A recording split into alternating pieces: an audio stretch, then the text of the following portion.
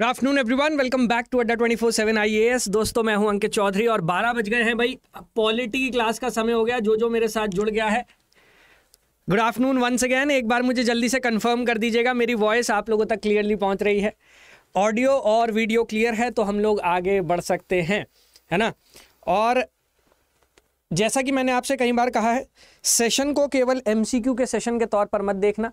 यहाँ पर आपके जो कॉन्सेप्ट्स हैं, उन कॉन्सेप्चुअल क्लैरिटी पर भी हम काम कर रहे हैं तो एक होलसम सेशन होने वाला है, जहाँ पर आपके कॉन्सेप्ट्स के साथ साथ आपके एमसीक्यू सॉल्व करने के तरीके पर भी हम काम कर रहे हैं, जो अल्टीमेटली 26 मई 2024 को आपके काम आने वाला है। ठीक है? आई होप मेरी आवाज़ आप लोगों तक क्लियरली पहुँच रही होगी। एक बार जल्दी से मुझे कंफर्म कर दीजिए। ठीक है ठीक है ठीक है। तो चलिए बेटा सेशन में आगे बढ़ते हैं सेशन को आगे बढ़ाते हैं। और टारगेट आपने देख लिया होगा। आज से टारगेट रख लिया कि भाई आ, आने वाले प्रीलिम्स के एग्ज़ाम में आपके 125 मार्क्स तक पहुँच जाए। देखो अगर टारगेट 125 का रखोगे 110 115 पे भी पहुँच जाओगे तो भी बहुत है। आपको पता है कट ऑफ़ आराम से क्लियर हो जाएगी। तो टारगेट अपने मन में लेकर चल रहे 125 मैं कह रहा हूँ 125 तक नहीं भी पहुँचे 110 115 तक भी पहुंचोगे तो भी प्रीलिम्स क्रैक कर पाओगे। ठीक है? और नया साल आ रहा है ईयर एंड सेल है ईयर एंड पे सबसे बड़ी सेल लगती है, आप एडमिशन ले सकते हैं। 24 महीने की वैलिडिटी के साथ यूपीएससी का महापैक मिल रहा है, लेकिन अगर आप मेरा कोड लगा लोगे तो और सस्ता करवा दिया, आप लोगों के लिए और सस्ता करवा दिया। ये लगभग अट्ठारह हज़ार रुपए के आसपास पड़ जाएगा आपका महापैक। वाई थ्री सिक्सटी फाइव लगाना है वाई तीन सौ पैंसठ लगाना है और एडमिशन इंश्योर करना है, ठीक है? स्टेट के जितने भी महापैक है, स्टेट पीसीएस के जितने भी महापैक है बेटा, वो भी आपको लगभग two thousand nine hundred ninety nine rupees के मिल रहे हैं। वाई थ्री सिक्सटी फाइव लगा लोगे और सस्ते हो जाएँगे। और आपको पता ही है, ऑफलाइन टेस्ट सीरीज़ आ चुकी है। अगर आपको इसमें एडमिशन लेना है तो ऑफलाइन टेस्ट सीरीज़ में Y three sixty five S लगेगा। एस कोड पचास मॉक टेस्ट है, आपके घर तक पहुँचा दिए जाएँगे। ऑफलाइन घर पर बैठ के यूपीएससी जैसा माहौल क्रिएट करके दो घंटे में सॉल्व करना आदत पड़ेगी यूपीएससी के एग्ज़ाम हॉल की। सेशन को लाइक और शेयर कर देना, ठीक है? सेशन शुरू करने जा रहा हूँ मैं पहले क्वेश्चन के साथ। ये लो भाई, पहला क्वेश्चन अच्छा पहले क्वेश्चन से पहले। ये है mains answer writing bank sir मेरा टेलीग्राम चैनल यहाँ पर क्लास की पीडीएफ क्लास का नोटिफिकेशन सब कुछ बेटा यहाँ पर आपको मिल जाएगा तो यहाँ पर आप मेरे साथ जुड़ भी सकते हो। लो भाई, पहला सवाल। पहला क्वेश्चन पहला सवाल आ गया आपके सामने। गुड आफ्टरनून गुड आफ्टरनून बेटा, मैं बढ़िया हूँ, आप बताओ।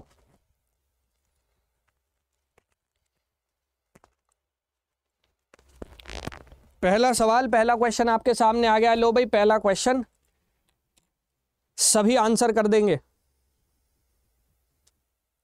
ठीक है? पहला सवाल, पहला क्वेश्चन सभी आंसर करेंगे। सेशन को शेयर कर देना। लाइक कर देना जैसा मैंने कहा, ठीक है?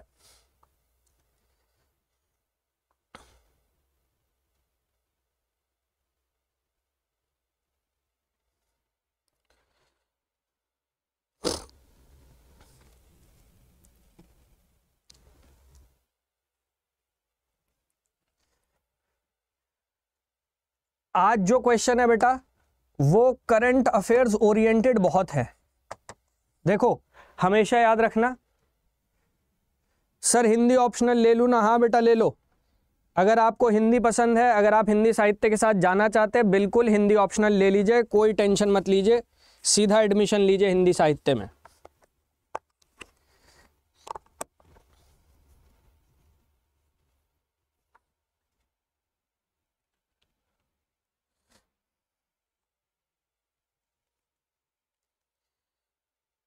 देखो, मैं आपको एक चीज़ समझाता हूँ। जब भी जब भी कभी देश में चुनाव होते हैं, मेरी बात को समझना, जब भी कभी कंट्री में देश में इलेक्शंस होते हैं, चुनाव होते हैं तो चुनावों से संबंधित सवाल आपके लिए इंपॉर्टेंट हो जाते हैं, महत्वपूर्ण हो जाते हैं। आपने देखा, अभी हमारे यहाँ पाँच राज्यों में लगभग चुनाव हुए, और अब 2024 में जाकर हमारे यहाँ लोकसभा का चुनाव होने वाला है। मैं दोबारा रिपीट कर रहा हूँ इस बात को, जब भी देश में चुनाव होते हैं, हमारे लिए इलेक्शन से जुड़े हुए जो क्वेश्चंस हैं, वो इंपॉर्टेंट हो जाते हैं। 2024 में चुनाव आने वाला है, ठीक है? 2024 में चुनाव आने वाला है अभी अभी चुनाव हुए हैं। तो हमें पता है कि 2024 के प्रीलिम्स में इलेक्शन पे क्वेश्चन आ सकता है। चलिए क्वेश्चन देखते हैं क्वेश्चन क्या कह रहा है उसके बाद आंसर की तरफ़ बढ़ते हैं। ठीक है? Consider the following statement about election in India Bharat में निर्वाचनों के संदर्भ में निम्नलिखित कथनों पर विचार करें। As per the constitution of India one candidate can contest from maximum two constituencies Bharat के संविधान के अनुसार एक उम्मीदवार अधिकतम दो निर्वाचन क्षेत्रों से चुनाव लड़ सकता है। If a candidate elected from two constituencies fail to resign from one of the seats within fourteen days then both his seat fall vacant देखिए, पहली बात तो पहली बात तो इसका जवाब है ऑप्शन नंबर बी। इसका जवाब है ऑप्शन नंबर बी। अगर आप लोगों का गलत हुआ है तो पहले तो खुद से सवाल करना गलत क्यों हो गया? और उसके बाद मैं यहाँ पर आपको बताने वाला हूँ कि गलती कहाँ हुई है। ये गलत नहीं होना चाहिए था। मेरे हिसाब से ये गलत नहीं होना चाहिए था। ये डिफ़िकल्ट क्वेश्चन नहीं था, ये मुश्किल सवाल नहीं था। ये आसानी से आप लोग टैकल कर सकते थे। आप लोगों ने चीज़ें पढ़ी हैं, आपका सही होना चाहिए था। मैं बताता हूँ, देखो क्यों।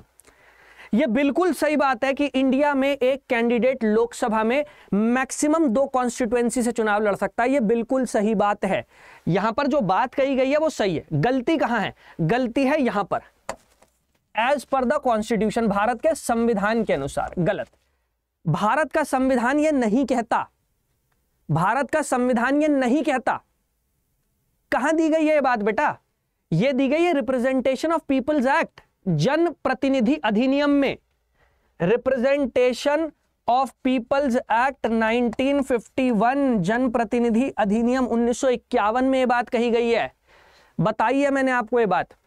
यूपीएससी में क्वेश्चन आया हुआ इससे रिलेटेड मैंने आपको प्रीवियस ईयर क्वेश्चन जब कराया तब समझाया था कि भाई पहले ऐसा हुआ करता था, एक कैंडिडेट चार चार सीट से भी चुनाव लड़ लेता था, लेकिन अब क्या हो गया? अब मैक्सिमम दो सीट से चुनाव लड़ सकते हो, इससे ज़्यादा नहीं। और हमने मोदी जी का उदाहरण देखा था, हमने राहुल गांधी का उदाहरण देखा था। और वहाँ मैंने आपको समझाया भी था कि रिप्रेजेंटेशन ऑफ़ पीपल्स एक्ट में भी यह बात लिख दी गई है। कैसे गलत हुआ? गलती कहाँ है मैं बताता हूँ। ये होती है सिली मिस्टेक जो आपसे आपका सिलेक्शन छीनेगी। याद रखिएगा।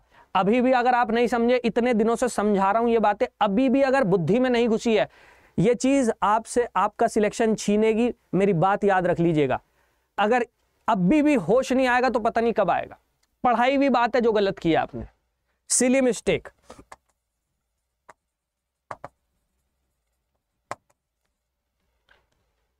दूसरी, अगर आप दोनों सीट से जीतकर आ जाते हैं, मोदी जी का एग्ज़ाम्पल भी दिया था मैंने।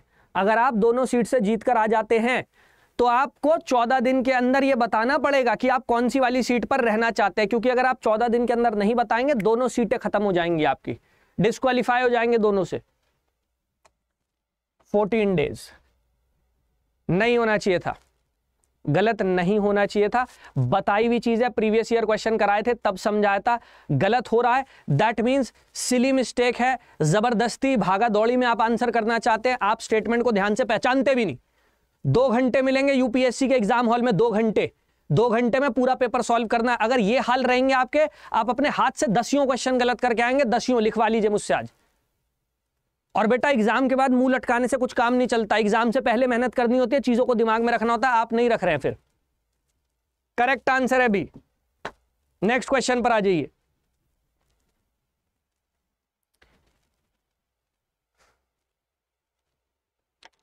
रोज समझाने के बावजूद अगर आप ये बात दिमाग में नहीं रख रहे हैं, भाई, आप नहीं है सीरियस फिर यूपीएससी के लिए। अगर रोज समझाने के बावजूद मेरे आप इन चीज़ों को दिमाग में नहीं रख रहे हैं, आप नहीं है सीरियस फिर यूपीएससी के लिए, मेरा तो मानना ही है। रोज वो चीज़ें समझा रहा हूँ फिर भी आप वो काम करते हैं बताइए।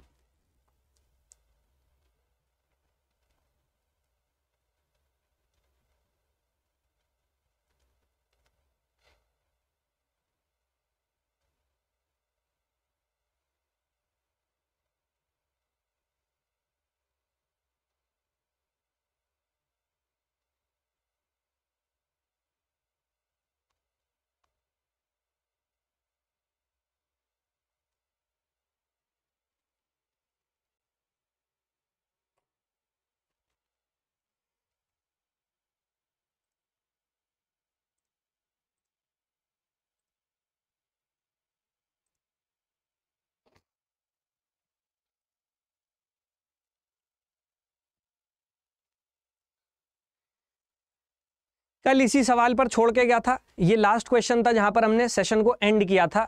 इसका जवाब आपको देना था। आ, हमने देखा है कि इंडिया में इलेक्शंस अलग अलग तरीकों से कराए जाते हैं। अगर मैं इंडिया की बात करता हूँ भारत की तो भारत में जो चुनाव होते हैं वो अलग अलग तरीकों से कराए जाते हैं अलग अलग प्रक्रियाओं से कराए जाते हैं। अगर मैं बात करता हूँ लोकसभा के चुनाव की या विधानसभा के चुनाव की अगर बेटा हम बात करेंगे लोकसभा के चुनाव की या विधानसभा के चुनाव की लोकसभा या विधानसभा। लोकसभा या विधानसभा का चुनाव जो होता है, इसे कहा जाता है डायरेक्ट इलेक्शन प्रत्यक्ष चुनाव डायरेक्ट इलेक्शन तो ये क्या है? प्रत्यक्ष चुनाव है। डायरेक्ट इलेक्शन है। डायरेक्ट इलेक्शन कौन सा होता है? डायरेक्ट इलेक्शन वो होता है जिसमें देश की जनता स्वयं वोट डालती है। The citizen of the country they vote in the election उसे कहा जाता है डायरेक्ट इलेक्शन लोकसभा का भी डायरेक्ट इलेक्शन होता है और जो हमारी विधानसभाएँ हैं, उनका भी क्या होता है बेटा? डायरेक्ट इलेक्शन ही होता है। डायरेक्ट इलेक्शन जो होता है वो इंडिया में first past the post system से होता है। ठीक है? सरल बहुमत प्रणाली। सरल बहुमत प्रणाली में क्या होता है? जिस कैंडिडेट को सबसे ज़्यादा वोट मिल जाते हैं, जिस भी कैंडिडेट को सबसे ज़्यादा वोट मिल जाते हैं, वो जीता हुआ डिक्लेयर कर दिया जाता है। तो लोकसभा और विधानसभा के चुनाव ऐसी हो रहे हैं। फिर राष्ट्रपति का चुनाव प्रेसिडेंट का चुनाव, या फिर राज्यसभा के चुनाव, ये होते हैं इनडायरेक्ट ये है बेटा इनडायरेक्ट अप्रत्यक्ष। अप्रत्यक्ष चुनाव वो होते हैं जिसमें देश की जनता वोट नहीं डालती। इसमें वोट डालते हैं हमारे प्रतिनिधि the representatives of the people जैसे राष्ट्रपति के चुनाव में। राष्ट्रपति के चुनाव में लोकसभा, राज्यसभा के मेंबर विधानसभाओं के मेंबर ये वोट डालते हैं। तो इसे कहा जाता है इनडायरेक्ट इलेक्शन अप्रत्यक्ष चुनाव। अप्रत्यक्ष चुनाव जो होता है, ये होता है प्रोपोर्शनल रिप्रेजेंटेशन आनुपातिक प्रतिनिधित्व प्रणाली के आधार पर। यहाँ पर कहा जा रहा है during the general election general election आम चुनाव कहा जाता है लोकसभा के चुनावों को या विधानसभा के चुनावों को। During the general election in India a candidate who secures the highest number of votes is in that constituency is declared elected बिल्कुल सही बात है।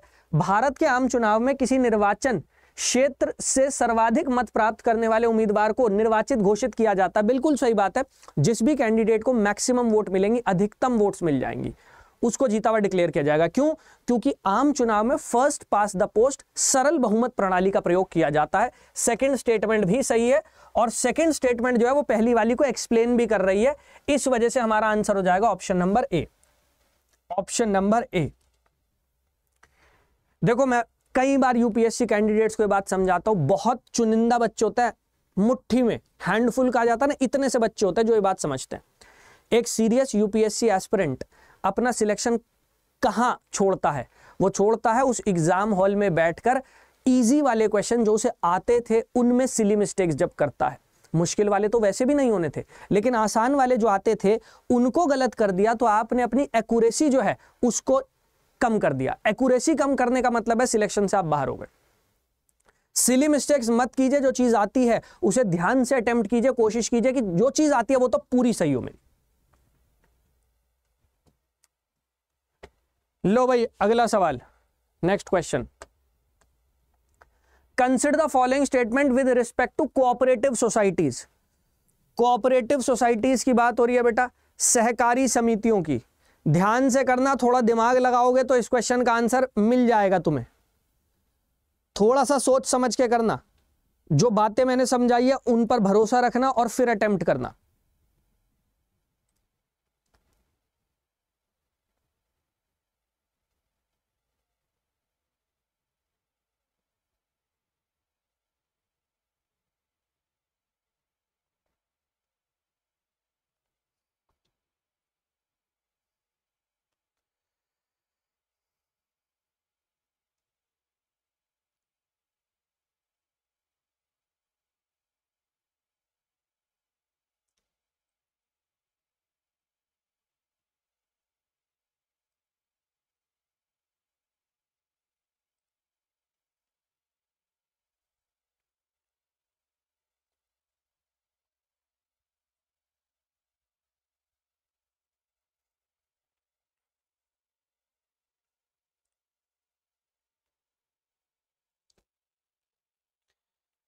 देखो, मैंने आपको एक बात हमेशा समझाई है, और ये यूपीएससी का एक पैटर्न भी रहा है। अभी तक तो यूपीएससी ये करती आई है 2024 में। नहीं पता, क्या पता यूपीएससी अपने आप को बदल दे।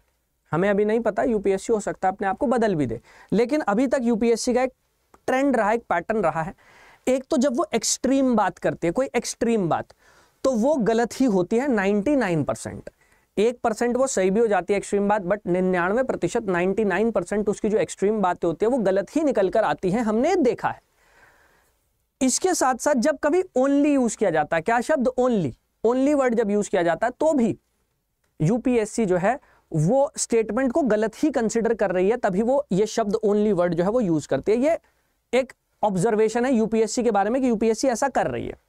ठीक है? यहाँ पर देख लेते हैं। बात हो रही है बेटा कोऑपरेटिव सोसाइटीज की। बात हो रही है कोऑपरेटिव सोसाइटीज की। सहकारी समितियाँ। क्या कहा जा रहा है? Statement one only state legislatures can make laws related to cooperatives of any kind केवल राज्य विधानमंडल ही सहकारी समितियों से संबंधित किसी भी प्रकार का कानून बना सकते हैं। ठीक है? Seventh schedule of the Indian constitution provides for state legislature to legislate on cooperative society भारतीय संविधान की सातवीं अनुसूची राज्य विधानमंडल को सहकारी समितियों पर कानून बनाने की शक्ति प्रदान करती है। ठीक है? यह मान लीजिए कि पहली वाली स्टेटमेंट से आंसर निकालने की कोशिश करते हैं, आपको सेकंड वाली नहीं आती। मैं मान लेता हूँ। एक तो एक चीज़ और कहूँगा, मैं देख रहा हूँ बहुत सारे दिनों से जैसे जैसे एग्ज़ाम पास आ रहा है आप में से बहुत सारे बच्चे ऐसे हैं जो अपनी पढ़ाई को लेकर नेग्लिजेंट हो गए वैसे तो देखो, मेरे पे कोई फ़र्क नहीं पड़ेगा। सिलेक्शन होगा, तुम्हारा होगा। फेल होगे, तुम होगे। फ़र्क तुम पे पड़ेगा, तुम्हारी फैमिली पर पड़ेगा, उनके सपने टूटेंगे, तुम्हारे टूटेंगे, मेरा कुछ नहीं जाएगा। लेकिन फिर भी क्योंकि यहाँ मेरी ज़िम्मेदारी है, मैं आपको पढ़ा रहा हूँ, मैं चाहता हूँ कि आप एग्ज़ाम क्लियर करें, मैं साफ़ साफ़ एक बात बोल दूँ। अगर आप लोग अब से लेकर अपने एग्ज़ाम तक अपनी पढ़ाई को लेकर लीनियंट होंगे अगर आप सीरियस नहीं होंगे, आप जहाँ कहें मैं लिख कर दे देता हूँ, आप एग्ज़ाम नहीं निकाल पाएँगे। कोई कुछ भी बोलता रहे, मैं आपको सीरियस कंडीशन बता रहा हूँ, यहाँ से लेकर एग्ज़ाम तक, क्योंकि पाँच महीने बहुत ज़्यादा टाइम होता नहीं है यूपीएससी में। इन पाँच महीने में अगर आप अपना टाइम वेस्ट करेंगे, आप सीरियस नहीं होंगे, आप अपना सिलेक्शन 2024 में नहीं ले पाएँगे, मार्क माय वर्ड्स। यहाँ से लेकर उस एग्ज़ाम तक, अगर आप सीरियस रहेंगे तो ही आप सिलेक्शन लेंगे, क्योंकि पिछले साल लगभग साढ़े पाँच लाख, छह लाख बच्चा बैठा था एग्ज़ाम में, इस बार भी इतना बैठेगा, इससे ज़्यादा ही बैठेगा। पिछली बार जिन बच्चों का प्रीलिम्स नहीं क्लियर हुआ, पैटर्न चेंज होने की वजह से, वो इस साल दोबारा आएँगे। जो मेंस तक पहुँचे थे, जिनका मेंस क्लियर नहीं हो पाया था, वो आएँगे। जो इंटरव्यू तक पहुँचे थे, जिनका इंटरव्यू क्लियर नहीं हो पाया था, वो आएँगे। आपका उनसे कंपटीशन है। आपको लगता है कि आप उनसे कंपीट करने के लिए तैयार हैं तो लीनियंट हो जाइए। अगर आपको लगता है तैयार नहीं है देन मार्क माई वर्ड्स पाँच महीने हैं, जो कर सकते हो, इन्हीं पाँच महीनों में करोगे, इसके बाद कुछ नहीं कर पाओगे। आपका कंपटीशन उनसे याद रखिएगा। मैं देख रहा हूँ बहुत सारे बच्चे जैसे जैसे एग्ज़ाम पास आ रहा है लीनियंट हो गए अपनी पढ़ाई को लेकर। तो बेटा याद रखना मेरी बात। 2024 तो तुम्हारा नहीं होने वाला फिर। पाँच महीने है, जितनी मेहनत कर लोगे रिज़ल्ट वही देंगे। और देख लो किससे कंपटीशन है। पिछली बार जो प्रिलिम में फेल हुआ बच्चा चोट खाया बैठा, उससे कंपटीशन है। मेंस में फेल हुआ, उससे कंपटीशन है। इंटरव्यू तक पहुँच के बाहर हुआ तो उससे कंपटीशन है। लग रहा है उनसे कंपीट कर पाओगे तो ठीक है। कोऑपरेटिव्स की बात हो रही है, ठीक है? कोऑपरेटिव्स की बात हो रही है, सहकारी समितियों की बात हो रही है। सहकारी समितियों की अगर मैं बात करता हूँ, देखिए कोऑपरेटिव्स दो टाइप की हो सकती है। एक ऐसी हो सकती है जो एक ही राज्य में काम कर रही हो, और एक हो सकती है मल्टी स्टेट अगर मैं सहकारी समितियों की बात करता हूँ, अगर मैं कॉपरेटिव सोसाइटीज की बात करता हूँ ठीक है? अगर मैं सहकारी समितियों की बात करता हूँ, अगर मैं कोऑपरेटिव्स की बात करता हूँ कोऑपरेटिव दो प्रकार की हो सकती है, सहकारी समितियाँ दो प्रकार की हो सकती हैं। एक है आपकी सिंगल स्टेट जो एक राज्य में काम कर रही हो, एक है आपकी मल्टी स्टेट मल्टी स्टेट पहली बात तो कॉपरेटिव स्टेट लिस्ट का सब्जेक्ट है। कॉपरेटिव जो है, वो राज्य सूची का विषय है स्टेट लिस्ट का सब्जेक्ट है, राज्य सूची, ये बिल्कुल सही बात है कि भाई कोऑपरेटिव राज्य सूची का विषय स्टेट लिस्ट का सब्जेक्ट है। ठीक है? लेकिन जो मल्टी स्टेट कोऑपरेटिव सोसाइटी होती है मल्टी स्टेट मल्टी स्टेट मतलब जो एक से ज़्यादा राज्यों में काम कर रही है। ऐसी सोसाइटी को कोई एक राज्य तो विनियमित कर नहीं सकता। भाई, अगर कोई कोऑपरेटिव सोसाइटी तीन राज्यों में काम कर रही है तो फिर तो वो तीन सरकारों के अंतर्गत आ गई। फिर उसे कोई एक राज्य सरकार तो विनियमित कर नहीं सकती कानून बना के। इसी वजह से मल्टी स्टेट कोऑपरेटिव सोसाइटीज जो होती हैं, उनके लिए पार्लियामेंट को लॉ बनाने दिया जाता है। ठीक है? तो याद रखिएगा, वैसे तो हालाँकि वैसे तो कोऑपरेटिव जो है, सहकारी समिति जो है, वो राज्य सूची का विषय है स्टेट लिस्ट का सब्जेक्ट है। लेकिन मल्टी स्टेट कोऑपरेटिव सोसाइटी भी होती है, जो एक से ज़्यादा राज्यों में काम करती है। और ये जो मल्टी स्टेट कोऑपरेटिव सोसाइटीज होती हैं, ये मल्टी स्टेट कोऑपरेटिव सोसाइटीज इनके लिए लॉ बनाने की अथॉरिटी संसद को दी जाती है पार्लियामेंट को दी जाती है, ठीक है? अब यहाँ पर क्या कहा जा रहा है? यहाँ पर कहा जा रहा है only state legislature can make laws related to cooperatives of any kind of any kind only भी आ गया और एक्सट्रीम बात भी आ गई एनी काइंड जब ओनली भी आ गया और एक्सट्रीम बात भी आ गई तो तो दो दो दो दो रोड ब्लॉक आ गए तो हम इसे सही नहीं मान सकते, ये गलत है. क्योंकि जैसे मैंने अभी बताया मल्टी स्टेट कोऑपरेटिव सोसाइटीज उनके लिए कानून कौन बनाएगा, उनके लिए लॉ कौन बनाएगा? वो बनाएगी पार्लियामेंट ठीक है? पहली वाली स्टेटमेंट गलत है, दूसरी वाली आपकी सही हो जाएगी। सेकंड वाली सही है करेक्ट आंसर है statement one is incorrect two D हो गया इसका करेक्ट आंसर है। इसका करेक्ट आंसर हो गया डी ठीक है? याद रखना ओनली वर्ड तो दिमाग में पहले क्या आना चाहिए कि ये स्टेटमेंट कहीं ना कहीं गलत होगी। फिर उस स्टेटमेंट को दोबारा चेक करो।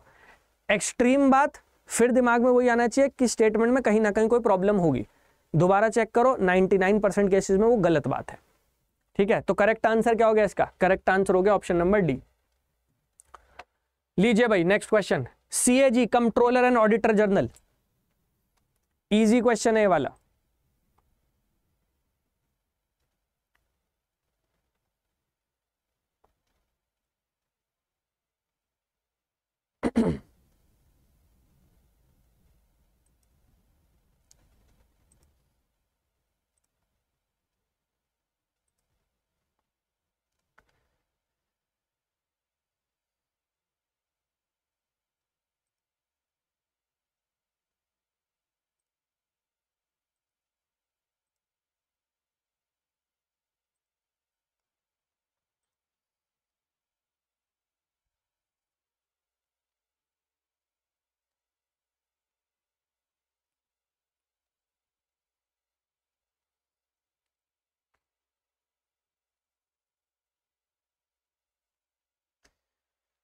Controller and auditor general CAG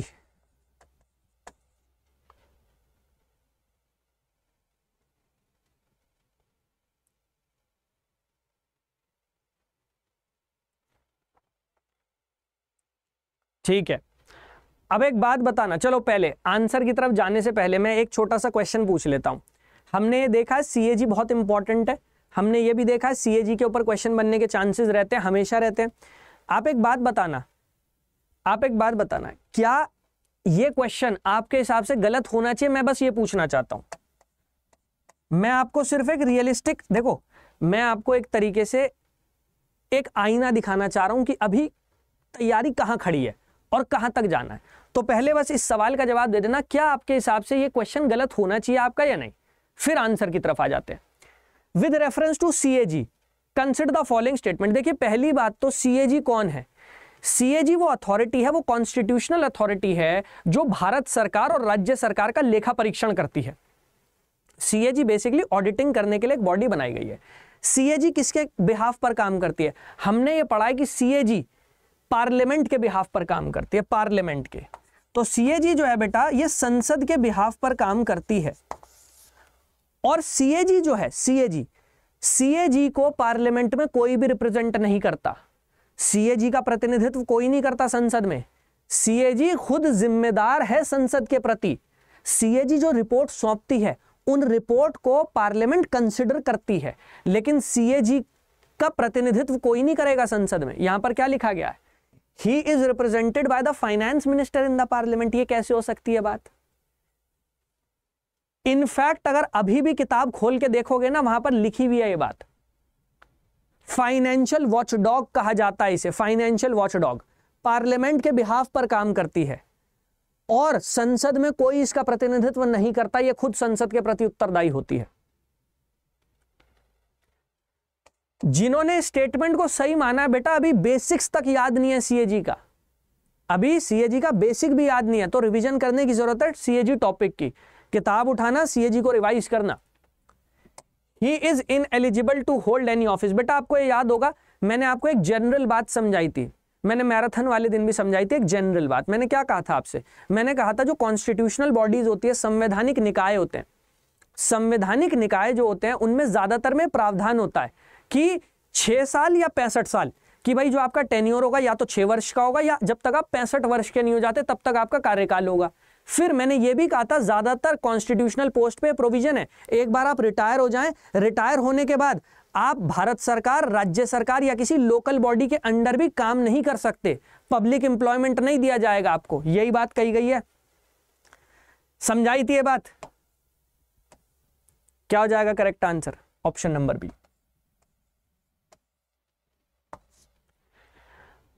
अगर ये गलत हुआ है अगर ये गलत हुआ तो आप खुद से सवाल करो, ये क्वेश्चन कैसे गलत कर दिया मैंने? दैट मीन्स अभी मुझे सीएजी याद नहीं है, मुझे सीएजी रिवाइज करना है।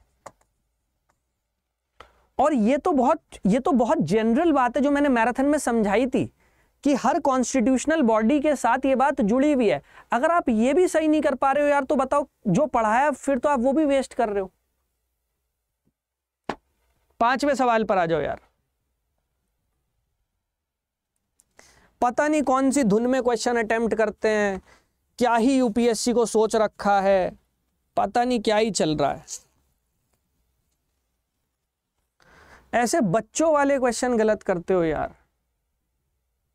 मतलब ये तो बेबी क्वेश्चंस है, बच्चों वाले सवाल हैं।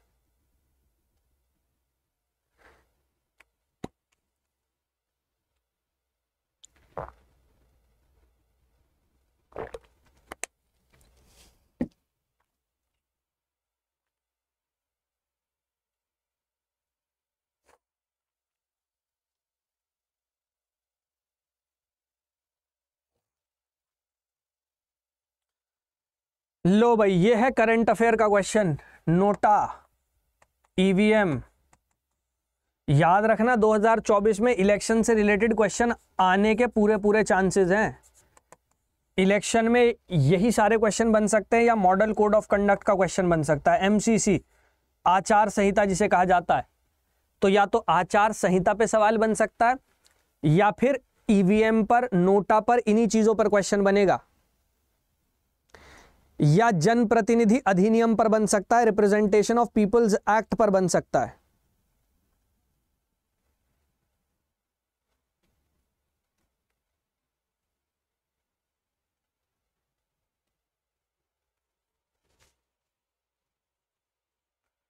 इसके अलावा बेटा, अगर क्वेश्चन बनेगा तो आरपीए पे बनेगा, रिप्रेजेंटेशन ऑफ़ पीपल्स एक्ट।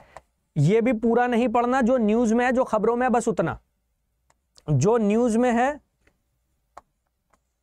जो खबरों में है, बस उतने उतने प्रावधान पे बनेगा। चलिए देख लेते हैं। देखिए, पहले क्या होता था? भारत में जो चुनाव कराए जाते थे, वो बैलेट पेपर पे कराए जाते थे। मतलब एक आपको पर्चा दिया जाता था, जब आप वोट डालने जाते थे, पर्चा दिया जाता था। आपको जो कैंडिडेट पसंद है, आपने उस पर ठप्पा मार दिया, उस पर मोहर मार दी और आपने बैलेट बॉक्स हुआ करता था। बैलेट बॉक्स में अपनी वोट डाल दी। पहले ये हुआ करता था। अगर आप राष्ट्रपति का चुनाव देखेंगे, प्रेसिडेंट ऑफ़ इंडिया का ठीक है? अगर आप राष्ट्रपति का चुनाव देखोगे प्रेसिडेंट ऑफ़ इंडिया का चुनाव देखोगे तो वो आज भी ऐसे होता है बैलेट पेपर के थ्रू ही होता है। तो पहले भारत में जितने चुनाव हुआ करते थे बैलेट पेपर के थ्रू हुआ करते थे। फिर क्या हुआ? 1977 में 1977 में, बेटा 1977 में 1977 में, हमारे चुनाव आयोग ने प्रस्ताव रखा इलेक्शन कमीशन ने रिकमेंडेशन दी कि भाई इंडिया में इलेक्ट्रॉनिक वोटिंग मशीन का प्रयोग किया जाए ईवीएम और पहली बार पहली बार जो ईवीएम का प्रयोग किया गया भारत में किसी चुनाव में, वो हुआ था केरला के इलेक्शन में 1982 तो पहली बार फ़र्स्ट टाइम ये जो हुआ था, ये केरला में हुआ था 1982 लेकिन एक और बहुत इंपॉर्टेंट बात जुड़ी हुई है इससे, सुप्रीम कोर्ट ने चुनाव रद्द कर दिया था। क्यों रद्द कर दिया था? सुप्रीम कोर्ट ने इसलिए रद्द कर दिया था, सुप्रीम कोर्ट में इन चुनावों को चुनौती दी गई। किस आधार पर यह कहा गया कि भाई किसी भी कानून में नहीं लिखा हुआ है कि वोटिंग कराने के लिए ईवीएम मशीन का प्रयोग किया जाए। तो फिर चुनाव आयोग ने कैसे ईवीएम का प्रयोग कर लिया? सुप्रीम कोर्ट तक बात चली गई थी। तो सुप्रीम कोर्ट ने चुनाव जो है वो रद्द भी कर दिए थे इस आधार पर कि भाई वोटिंग मशीन जो है वो किसी कानून के अंतर्गत आप प्रयोग नहीं कर सकते। ठीक है? लेकिन हाँ पहली बार जो इस्तेमाल हुआ वो केरल में हुआ उन्नीस सौ बयासी में।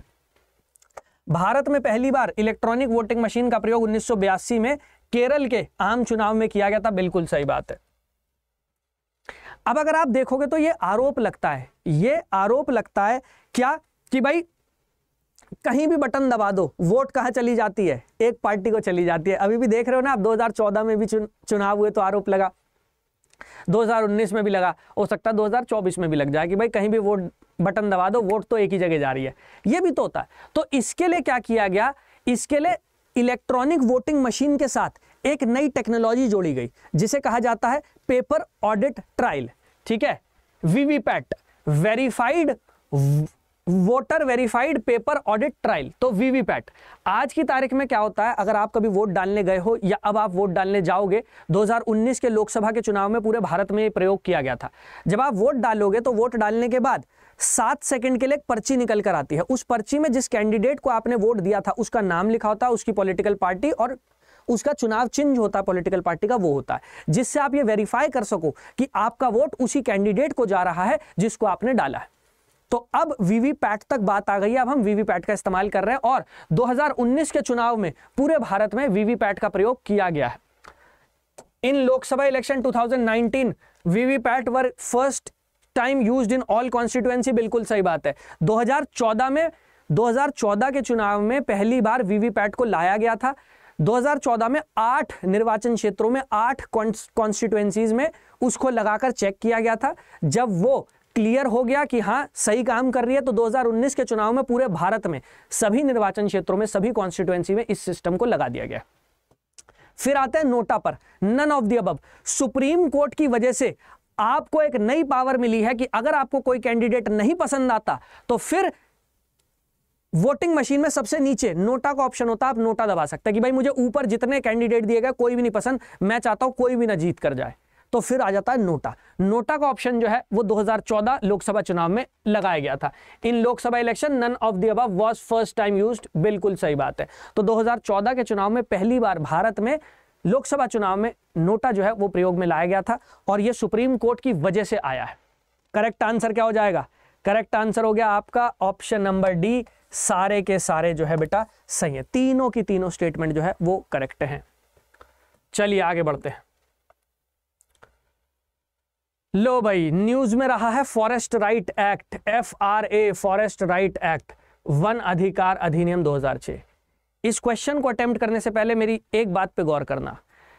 हर स्टेटमेंट को पढ़ते हुए एक बार जरा सोचना कि यहाँ पर जो अथॉरिटी दी गई है या यहाँ पर जो बात लिखी गई है, क्या वो बात सही है? ठीक है? क्या वो बात सही है? एक बार खुद से सवाल करना, हो सकता है आप गलती पकड़ लो क्वेश्चन में।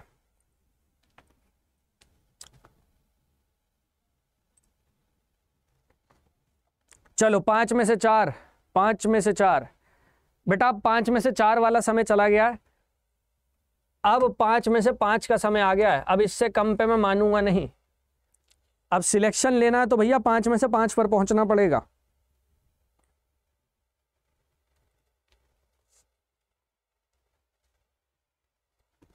हर स्टेटमेंट को अटेम्प्ट करने से पहले खुद से पूछना कि क्या यह सही हो सकता है? क्या यह बात सही कही जा रही है?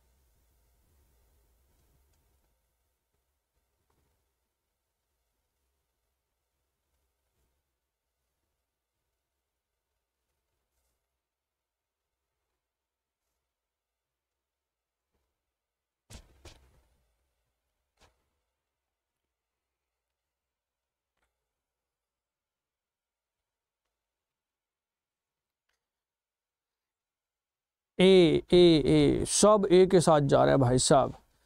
मतलब सब ए के साथ जा रहे हैं, लगातार ए ही ए चमक रहे हैं। अच्छा अगर आप ए कह रहे हो, जो भी ए कह रहा है, कौन सी वाली सही है? अगर आप ए के साथ जा रहे हो मतलब ओनली वन सही वाली कौन सी है? फिर आप कौन सी वाली को सही कहना चाह रहे हो, ये बताओ मुझे। ठीक है, मैं मान लेता हूँ, चलो मैं आपकी बात मान लेता हूँ कि आप कह रहे हो ए। सही कौन सी है, ये भी बता दो जरा।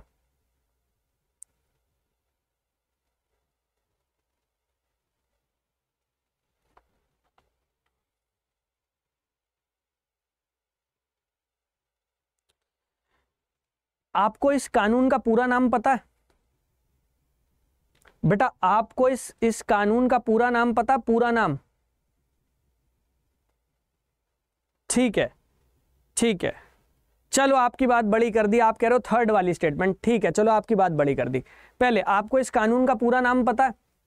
इस कानून का पूरा नाम है schedule tribe and other forest dwellers other forest dwellers forest right act बेटा, इस इस कानून का पूरा नाम है schedule tribe and other forest dwellers forest right act ठीक है? यह है इसका पूरा नाम। यह है इस कानून का पूरा नाम। समझ में आई बात? अब अब जरा अब जरा मेरी बात पे गौर करना। जिनको भी नहीं आंसर समझ में आया, जिनको भी नहीं पता कि आंसर क्या होगा, अब जरा इस बात पे गौर करना। यहाँ पर क्या कहा जा रहा है? पहली पहली स्टेटमेंट देखो। दिस एक्ट रिकॉग्नाइजेज ओनली पहली बात तो ओनली आ गया। ओनली आ गया, मैंने कहा था ओनली आने का मतलब दिमाग में पहली बात ये आनी चाहिए कि शायद ये स्टेटमेंट गलत है। Only the rights to hold and live in the forest land but not ownership of land बेटा फॉरेस्ट राइट एक्ट मेजरली लाया इसीलिए गया है कि जंगलों में रहने वाली जो जनजातियाँ हैं और और लोग हैं, जो कई कई पीढ़ियों से कई कई दशकों से फॉरेस्ट में रह रहे हैं, उनको ओनरशिप मिल जाए लैंड ओनरशिप मिल जाए, भूमि पर अधिकार मिल जाए, स्वामित्व मिल जाए, इसीलिए लाया गया पहली स्टेटमेंट गलत। Not land ownership land ownership provide करना तो इसका one of the major purpose था। मुख्य उद्देश्य में से एक है। पहली वाली गलत। ठीक है? दूसरी पर आ जाओ। The rights under the act can only be claimed by members of members और communities of schedule tribe act का नाम क्या है? Schedule tribe and other traditional forest dwellers other traditional forest dwellers यहाँ क्या कह रहे हैं? इस अधिनियम के तहत अधिकार का दावा केवल अनुसूचित जनजाति के सदस्य। क्यों भाई? अदर ट्रेडिशनल फॉरेस्ट डिवेलर्स भी तो हैं। अदर ट्रेडिशनल जो पिछली तीन पीढ़ियों से या पिछले पिचहत्तर साल या उससे ज़्यादा से जंगलों में रह रहे हैं, अगर उन्हें शेड्यूल ट्राइब का स्टेटस नहीं भी मिला, उनके लिए भी है ये कानून। याद रखना, जो लोग पिछली तीन पीढ़ियों से तीन जनरेशन से या पिचहत्तर साल से जंगलों में रह रहे हैं, जंगलों के ऊपर निर्भर कर रहे हैं, उनको भी उनके अधिकार दिलाने के लिए ये तो केवल केवल शेड्यूल ट्राइब नहीं। अब आते हैं तुम्हारी वाली स्टेटमेंट पर जो तुम कह रहे हो। बेटा एक बात बताना, जरा एक बात बताना, इस देश में, इस देश में लोकल लेवल पर सेल्फ गवर्नेंस कौन लेकर आया है? इस देश में स्थानीय स्तर पर स्वशासन लोगों की सहभागिता किसने सुनिश्चित की है? ग्राम पंचायत ने की है? ग्राम पंचायत ने की है या ग्राम सभा ने की है? किसी भी एक्ट के अंतर्गत बेनिफिशरीज को आइडेंटिफाई करने का अधिकार ग्राम पंचायत को दिया जाता है या ग्राम सभाओं को दिया जाता है? जरा बताओ मुझे इस बात का जवाब।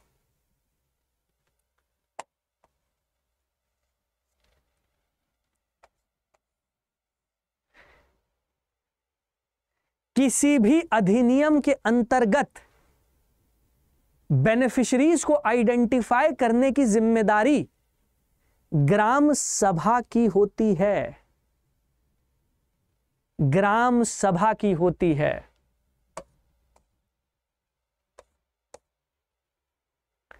Gram Sabha is the authority to initiate the process for determining यही तो ग्राम सभा का उद्देश्य है।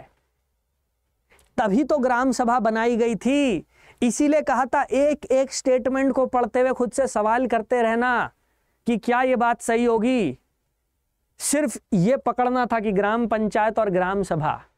हमेशा याद रखना, ज़्यादातर केसेस में ग्राम सभा को पावर दी जाती है, ग्राम सभा को। ग्राम पंचायत पर निगरानी के लिए भी ग्राम सभा है। आइडेंटिफिकेशन के लिए भी ग्राम सभा है। ऑडिटिंग के लिए भी ग्राम सभा है। ज़्यादातर शक्ति ग्राम सभा की है। इसीलिए कहा था कि आइडेंटिफाई करना, लेकिन नहीं ठीक है? इसीलिए बात बोली थी कि आइडेंटिफाई करना, लेकिन नहीं। फिर से फिर से आपने वही गलती कर दी है।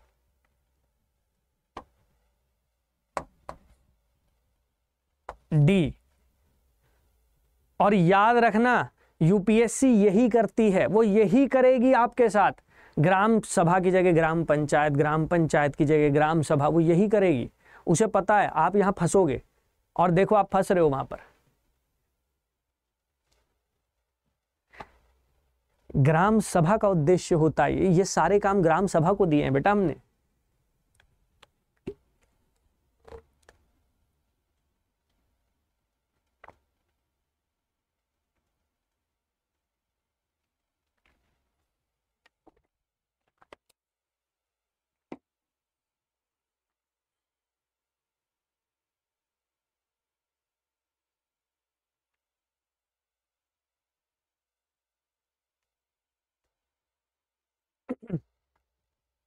With reference to special officer for linguistic minorities, consider the following statement. भाषाई अल्पसंख्यक वर्गों के लिए विशेष अधिकारी के संदर्भ में निम्नलिखित कथनों पर विचार कीजिए। एक बात नोटिस कर रहे हैं आप? देख रहे हैं आप आंसर के कितना नज़दीक पहुँच रहे हैं, लेकिन फिर भी गलत हो रहा है। यही होता है एग्ज़ाम हॉल में यूपीएससी के। यूपीएससी आपको एग्ज़ाम में आंसर के नज़दीक लेकर आती है और फिर आपसे गलती करवा देती है। इसीलिए मैं कहता हूँ, ये दूसरे एग्ज़ाम से जुदा एग्ज़ाम है। ना ये स्टेट पीसीएस है, ना ये एसएससी है, ये यूपीएससी है। वो आपके दिमाग के साथ खेल जाती है, आपको पता भी नहीं लगता। आपको लगता है आप सही कर रहे हैं, गलत हो जाता है। उसको पकड़ना है चीज़ को।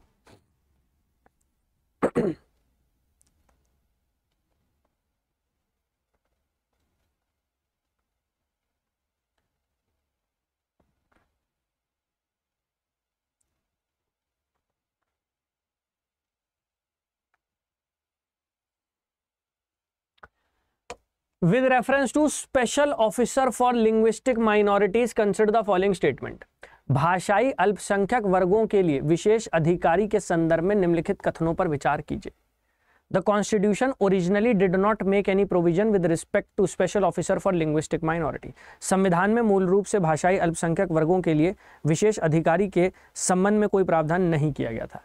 His qualifications and tenure are not specified in the constitution उसकी अहर्ता उसकी अहर्ता और कार्यकाल संविधान में निर्दिष्ट नहीं किए गए हैं। The office is designated as the commissioner for linguistic minorities and falls under the ministry of home affairs इस पद को भाषाई अल्पसंख्यक आयुक्त के रूप में निर्दिष्ट किया गया है तथा यह गृह मंत्रालय के अधीन होता है। अच्छा अगर मैं तुमसे एक बेसिक सवाल पूछूँ, एक बेसिक क्वेश्चन है मेरा। एक बहुत ही बेसिक क्वेश्चन है, एक बहुत ही बेसिक सवाल है आपसे। अगर मैं लिंग्विस्टिक माइनॉरिटीज की बात करता हूँ, अगर मैं भाषाई अल्पसंख्यकों की बात करता हूँ तो अल्पसंख्यकों माइनॉरिटीज से जुड़ा हुआ कोई मंत्रालय है क्या भारत में? बेटा, अल्पसंख्यकों माइनॉरिटीज से जुड़ी कोई मिनिस्ट्री है क्या इंडिया में? कोई मंत्रालय है भारत में अल्पसंख्यकों से जुड़ा हुआ माइनॉरिटीज से रिलेटेड अगर है तो मुझे उसका नाम बता देना, अगर है तो। नहीं है तो अलग बात है, अगर है तो। बात हो रही है special officer for linguistic minorities की। देखिए, आपको याद होगा, आपको ये बात याद होगी कि इंडिया में जो राज्य हैं, जो स्टेट्स हैं, हमने उनका पुनर्गठन किया हमने उन्हें रीऑर्गेनाइज किया है। अगर भारत में मैं राज्यों की बात करता हूँ, मैं स्टेट्स की बात करता हूँ स्टेट्स जो हैं, राज्य जो हैं, हमने राज्यों का पुनर्गठन किया है, हमने इन्हें रीऑर्गेनाइज किया है। री ऑर्गेनाइज ठीक है, हमने इन्हें पुनर्गठित किया रियत कब किया था?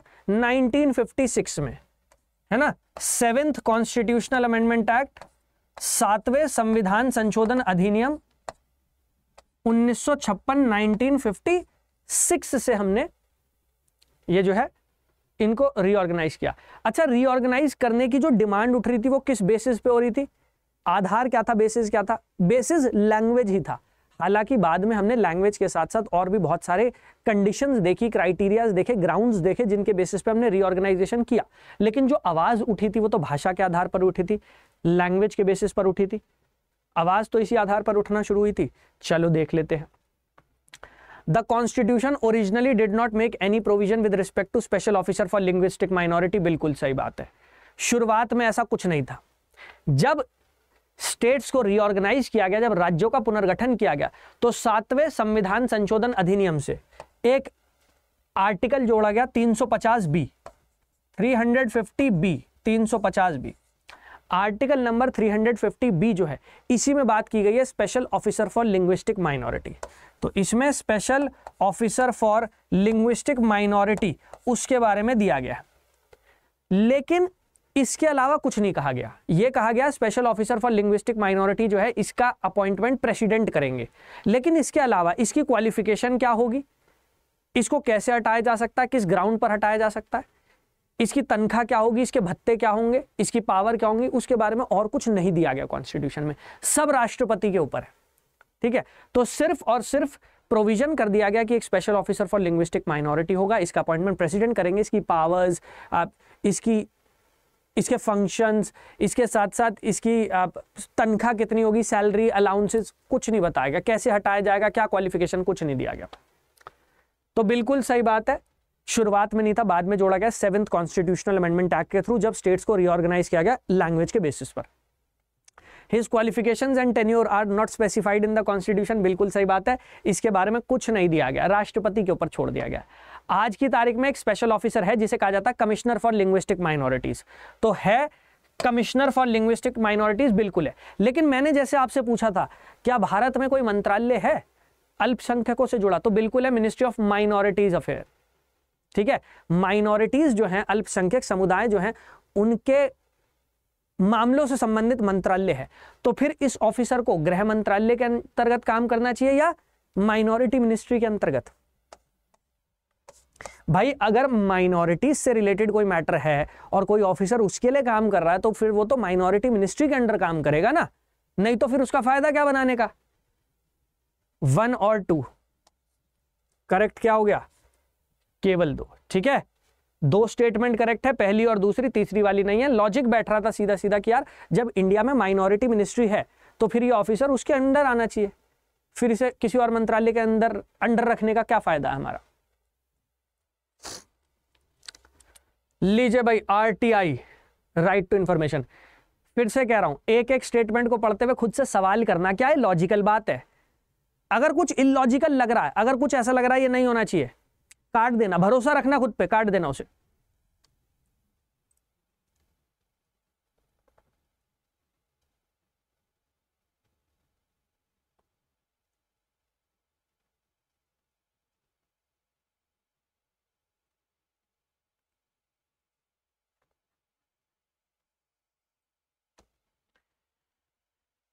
अगर किसी स्टेटमेंट में ऐसा लगे कि ये बात नहीं होनी चाहिए लॉजिक नहीं है इसका, काट देना, भरोसा रखना खुद पे।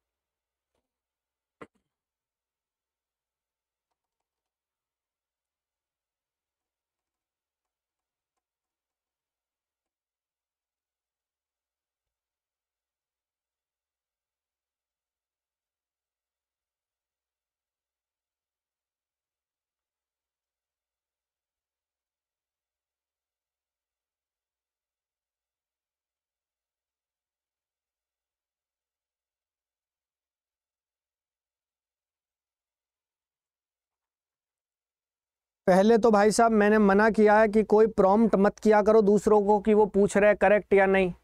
अगर तुम बाज नहीं आओगे ना, मुझे ब्लॉक करना पड़ जाएगा, तुम्हें मैं सच बता रहा हूँ। उन्हें खुद देखने दो, गलती करने दो, गलती करके सीखने दो। अगर आप ऐसे बता दोगे कि हाँ ये पूछ रहे हैं तो फिर बेटा उनको गलती करने का मौका क्यों नहीं दे रहे? गलती करने दो ना उन्हें, सीखेंगे खुद। प्रॉम्प्ट मत करो कि करेक्ट पूछ रहे हैं इनकरेक्ट अब देखो, सबसे पहले देखो कितनों ने बात देखी, क्या पूछ रहे हैं वो? ये देखो। कितनों ने देखा कि वो क्या पूछ रहे हैं? वो पूछ रहे हैं नॉट करेक्ट देखो पहले इस बात को, सही नहीं है। यही होता फ्लो फ्लो में। हम पेपर अटेम्प्ट कर रहे होते, एक के बाद एक क्वेश्चन हम कर रहे होते हैं फिर अचानक से एक क्वेश्चन आता है जिसपे लिखा होता है नॉट करेक्ट हम देख ही नहीं पाते। क्यों? क्योंकि हमारा माइंड प्रोसेस क्या कर रहा है कि वो करेक्ट पूछ रहे हैं। तो हम क्या करते हैं? करेक्ट करेक्ट करेक्ट करते चले जाते हैं। पता लगता है कि करेक्ट नहीं पूछा था, उसने इनकरेक्ट पूछा था और हमने देखा नहीं। तो आदत डालो आदत डालो इसे देखने की। ठीक है? मैं आपको वो सारी देखो, मैं आपको वो सारी चीज़ें बता रहा हूँ जो यूपीएससी आपके साथ करेगी एग्ज़ाम हॉल में। मैं यहीं बता रहा हूँ। यहीं प्रिपेयर होके जाओ कि वहाँ पर जब वो करे तो आप वेल प्रिपेयर्ड बैठो कि हाँ भाई, हमें पता है यहाँ यहाँ लैंड माइन्स बिछाई हैं यूपीएससी ने, हम उनसे बच के निकल जाएँगे। ठीक है? तो ये देखना है कि वो नॉट करेक्ट पूछ रहे हैं नहीं। ठीक है? अब आंसर की तरफ़ बढ़ता हूँ। देखो, पहली चीज़ राइट टू इंफॉर्मेशन का काम क्या है? राइट टू इंफॉर्मेशन एक्ट का काम क्या है? बेटा, इसका काम है आपको सूचना प्रदान करना सरकार के बारे में। ठीक है? अच्छा एक बात बताओ। इस देश में क्या दो ही भाषा है, हिंदी और इंग्लिश? क्या इंडिया में क्षेत्रीय भाषा नहीं है? और अगर भारत में क्षेत्रीय भाषा है तो क्या भाषा कोई आधार बनना चाहिए? जिस आधार पर मुझे सूचना ना दी जाए। क्या इंडिया में दो ही लैंग्वेज बोली जा रही है, हिंदी और इंग्लिश? क्या रीजनल लैंग्वेज नहीं है? और अगर रीजनल लैंग्वेजेस बोली जा रही हैं तो क्या लैंग्वेज ये ग्राउंड होना चाहिए, जिस ग्राउंड की वजह से मुझे इंफॉर्मेशन ना मिल पाए? फिर तो राइट टू इंफॉर्मेशन एक्ट का पर्पस ही खत्म हो जाएगा। आरटीआई एक्ट का पर्पस क्या है? मुझ तक इंफॉर्मेशन पहुँचे। लेकिन अगर मुझ तक इंफॉर्मेशन पहुँच ही नहीं रही है तो आरटीआई एक्ट का फ़ायदा क्या है मेरे लिए? It is of no use वो बेकार है मेरे लिए। कोई काम नहीं है फिर उसका। यही बात होगी ना। तो मतलब अगर लैंग्वेज को एक ग्राउंड बनाकर आप मुझे डिनाई कर रहे हो इंफॉर्मेशन तो फिर उस एक्ट का पर्पस ही खत्म हो जा रहा है। इसका मतलब यह है कि आरटीआई एक्ट में यह प्रोविज़न होना चाहिए, हिंदी इंग्लिश या फिर उस रीजन की जो क्षेत्रीय भाषा है, जो औपचारिक भाषा है। क्षेत्रीय भाषा को औपचारिक भाषा बना दिया जाता है, उसमें भी मैं एप्लीकेशन लिखकर इंफॉर्मेशन मांग सकूँ। तभी तो उसका पर्पस सॉल्व होगा अदरवाइज़ उसका पर्पस ही क्या रह जाएगा फिर? अगर मुझसे कह दिया जाए, इंग्लिश या हिंदी में लिखो। भाई, हो सकता है मैं साउथ इंडिया से हूँ। मुझे हिंदी, इंग्लिश दोनों में से कोई नहीं आती हो। मैं ज़्यादा पढ़ा लिखा ना हूँ, लेकिन मुझे अपने स्टेट की लैंग्वेज आती हो, जो औपचारिक भाषा भी है तो फिर मैं उस औपचारिक भाषा में मांग सकता हूँ ना। Application should be submitted only in English and Hindi अगर मैं ओनली इंग्लिश हिंदी कर दूँगा, मेरा पर्पस खत्म हो जाएगा उस एक्ट का। उसका पर्पस है सूचना प्रदान करवाना। भाषा को आधार बनाकर अगर सूचना नहीं दोगे तो उसका पर्पस ही बेकार है। Application can be hand written और टाइप्ड ये बिल्कुल सही बात होनी चाहिए। भाई, चाहे मैं हैंड रिटन लिख कर मांगू, चाहे मैं टाइप करवा कर मांगू, मेरे को अधिकार होना चाहिए कि मुझे सूचना मिल सके। तो ये तो उसके पर्पस के साथ जा रहा है। थर्ड आरटीआई एक्ट में कितने दिन में आपको सूचना मिलनी है? ये तो सबको पता होता है। ये तो जर्नल बात है। तो आम लोग, आम लोगों में से भी बहुत लोगों को पता होगा कि आरटीआई एक्ट के अंडर कितने दिन में सूचना मिलनी चाहिए? तीस दिन का प्रावधान, लगभग एक महीना तीस दिन का प्रावधान किया गया। गलत। पहली और तीसरी गलत है, दूसरी वाली सही है। करेक्ट आंसर क्या हो जाएगा? इन्होंने पूछा नॉट करेक्ट दो नॉट करेक्ट है, पहली और तीसरी। बीच वाली सही है। हर अधिनियम, देखो अब एक बात समझना। जब कभी, क्योंकि आज मैंने काफ़ी सारे आपको क्वेश्चन कराए हैं एक्ट्स के ऊपर, क्योंकि ये न्यूज़ में रहा है। जब भी कोई कानून बनाया जाता है, जब भी कोई एक्ट बनाया जाता है, उस कानून, उस एक्ट का कुछ उद्देश्य होता है, कुछ पर्पस होता है। उस पर्पस के अकॉर्डिंग ही उसमें प्रावधान किए जाते हैं, प्रोविज़न किए जाते हैं। आप उस उस एक्ट के पर्पस को ध्यान में रखा करो और उसके बाद प्रोविजंस को देखा करो। कई क्वेश्चन ऐसे होते हैं जिनमें जो ऑप्शंस होते हैं, वो उसके पर्पस के साथ जाएँगे ही नहीं। अगर वो नहीं जाएँगे, वो गलत है। जैसे यहाँ पर, ये पर्पस के साथ नहीं जा रहा था, ये गलत है। ये भी बहुत हेल्प करता है हमें वहाँ बैठ के आंसर डिडक्ट करने में। ये सारी नॉलेज वहाँ काम आएगी आपके एग्ज़ाम में। लो भाई नेक्स्ट और ये सारी बातें ना टेस्ट लगाकर भी सीखी जाती हैं। इसीलिए कहता हूँ टेस्ट ज़्यादा से ज़्यादा करने की कोशिश करो अप्लाई करो अपने लॉजिक्स को। और अब तो ऑफलाइन टेस्ट सीरीज़ आपके घर तक जा रही है। घर पे मंगाओ, दो घंटे का टाइमर लगाओ, बैठ के करो सॉल्व। और जो क्वेश्चन गलत हुए हैं, सोल्यूशन में से उनको पढ़ो और देखो गलत कहाँ हुए। थ्योरी को समझो उसकी।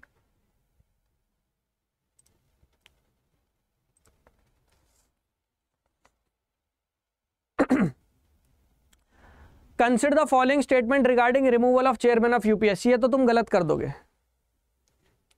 ये तो तुम गलत कर दोगे।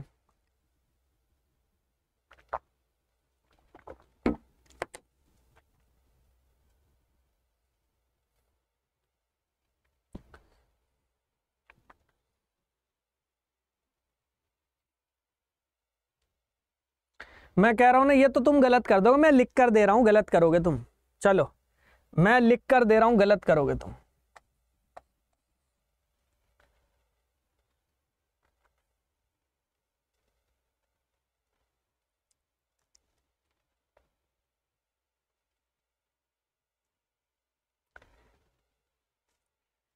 ये तुम गलत करोगे, मैं लिख कर दे रहा हूँ। ठीक है? एक काम करना। इसका जवाब अभी मैं नहीं दे रहा। मैं नेक्स्ट क्वेश्चन की तरफ़ चल रहा हूँ, अगले सवाल की तरफ़। इसका जवाब आपको देना है कमेंट सेक्शन में। आज पढ़िएगा। यूपीएससी यही है वो बॉडी यही है वो बॉडी जो तुमसे तुम्हारा सिलेक्शन छीनती है। देख लो इसे ध्यान से। तुम्हें जवाब देना आज कमेंट सेक्शन में, पढ़ के। नेक्स्ट क्वेश्चन की तरफ़ बढ़ रहा हूँ, ये तुम्हारा होमवर्क बन गया आज का। तुम नहीं दे पाओगे इसका जवाब। कमेंट सेक्शन में चाहिए इसका जवाब। यही है तुमसे तुम्हारा सिलेक्शन छीनने वाली बॉडी लो नेक्स्ट क्वेश्चन पर आ जाओ, छोड़ दो उसे। सबका गलत है। 95 परसेंट बच्चों ने गलत आंसर दिया उस क्वेश्चन का। अब तुम कमेंट में देना, पढ़ के। पढ़ के जवाब देना मुझे उसका।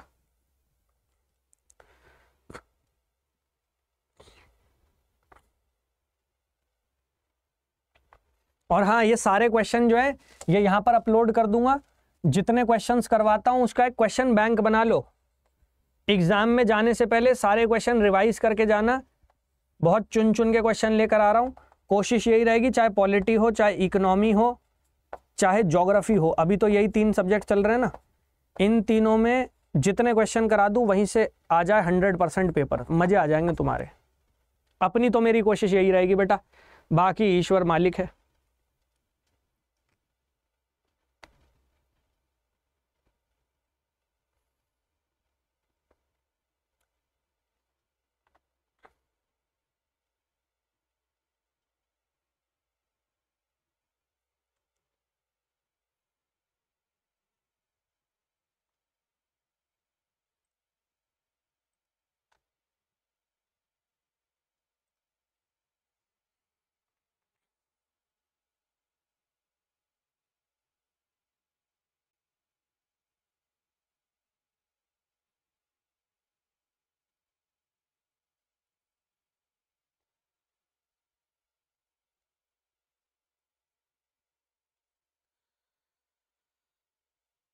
अच्छा एक बात बताओ।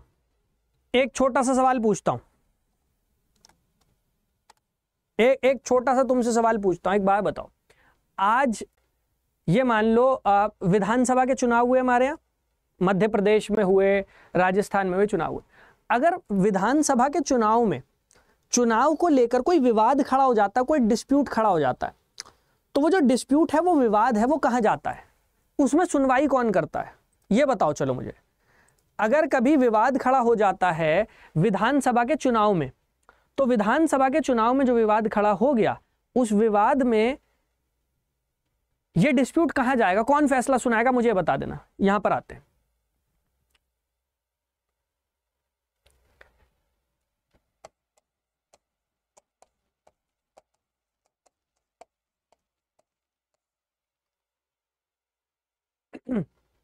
सर इकोनॉमी की मैराथन ले लीजिए। बेटा मैराथन ले रहा हूँ मैं इकतीस तारीख को। इकतीस दिसंबर 2023 साल खत्म होने वाला होगा। ठीक है? ठीक है? शाम को दो बजे, दोपहर कह लो, चलो, दोपहर को दो बजे मैराथन लूँगा।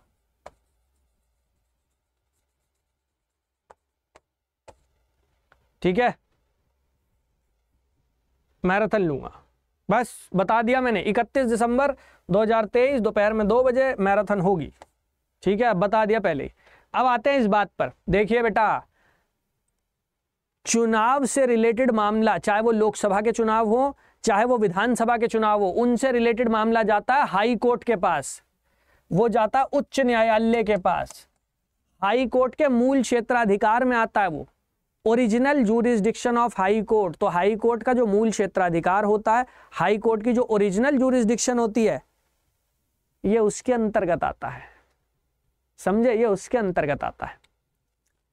1966 नाइनटीन कॉन्स्टिट्यूशनल अमेंडमेंट एक्ट से पहले, इससे पहले, अलग से इलेक्शन ट्रिब्यूनल्स बनते थे। अलग से इलेक्शन ट्रिब्यूनल्स बनते थे।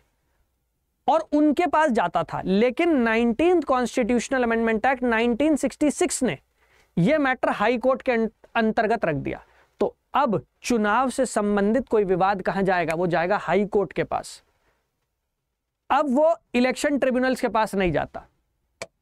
इन इंडिया ओनली, पहले तो देखो ओनली आ गया। ओनली आ गया। In India only the election tribunals are authorize to hear election petition गलत। पहले था ये, पहले था ये प्रोविज़न। आज की तारीख में नहीं है। Nineteen amendment of the Indian constitution 1966 provided high courts with the power to hear petitions बिल्कुल सही बात है। आज की तारीख में उच्च न्यायालय के पास जाता, चुनाव से जुड़ा हुआ विवाद।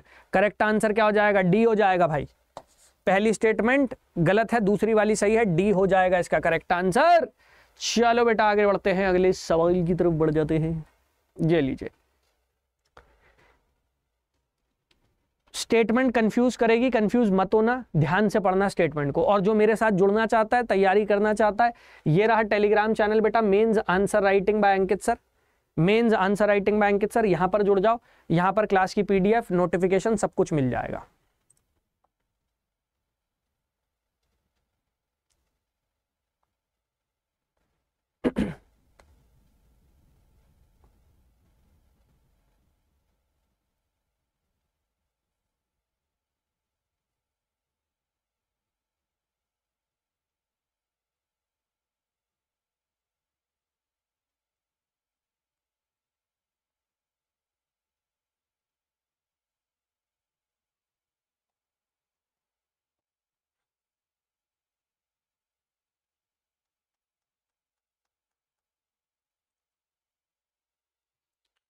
ये चाहिए, वो चाहिए, बस ये करते रहा करो, ये चाहिए, वो चाहिए। तो एक काम करते हैं। इसका आंसर कर दिया तुमने। एक काम करते ऑल सब्जेक्ट कर दू? ऑल सब्जेक्ट्स है? सारे सब्जेक्ट की कर दू? मैराथन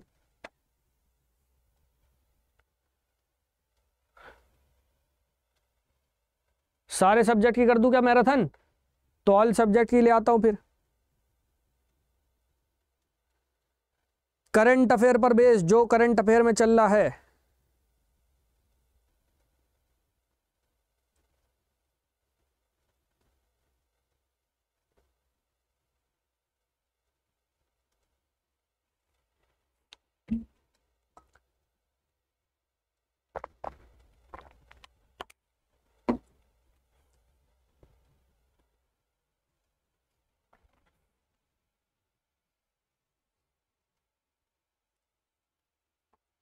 फिर अड्डा वालों का क्या होगा?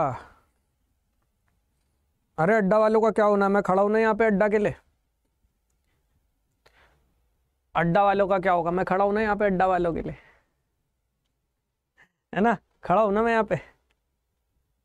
चलो, आंसर देख लेते हैं। विप की बात हो रही है बेटा। Whip W H I P whip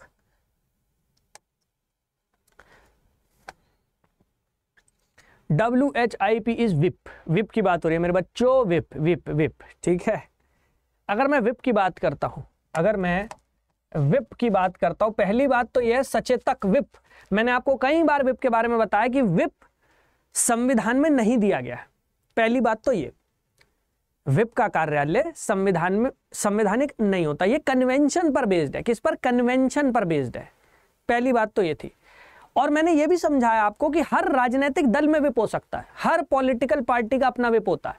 ऐसा नहीं है कि नेशनल पार्टी है स्टेट पार्टी है, तभी विप होगा, नहीं। अगर कोई और पार्टी भी है, उसको भी विप अलॉट किया जा सकता है। भाई, विप तो पार्टी पर्सन होता है एक। A whip is an official of a political party whose task is to ensure party discipline. पहली स्टेटमेंट बिल्कुल सही है, विप का काम यही होता है, अनुशासन। जो भी उसके सदस्य हैं, राजनीतिक दल के, उन्हें अनुशासन में रखे। ये उसकी ज़िम्मेदारी है, ये उसका काम है बिल्कुल सही बात है। पहली वाली स्टेटमेंट भाई बिल्कुल सही है। इसमें तो कोई दो बात है ही नहीं।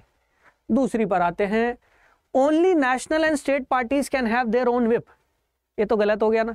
मैंने कहा सभी राजनीतिक दल को हो सकता है ओनली नेशनल और स्टेट पार्टी क्यों? भाई अगर कोई नेशनल और स्टेट पार्टी नहीं भी है, लेकिन उसका कैंडिडेट जीत के वहाँ पहुँच गया विप तो वहाँ भी हो सकता है।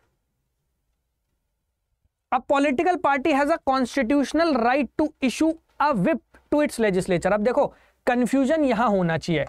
अगर आपको यहाँ कंफ्यूजन हुआ है तो मैं मान लेता हूँ। इससे ऊपर वाली दो स्टेटमेंट में कोई कंफ्यूजन की गुंजाइश नहीं, यहाँ पर हो सकती है। अब समझना मेरी बात को। बेटा, ये वाली स्टेटमेंट कितनों को लगता है सही है और कितनों को लगता है गलत है, ये बता दो। ये वाली स्टेटमेंट कितनों को लगता है गलत है, कितनों को लगता है सही है, मुझे बस ये बता दो।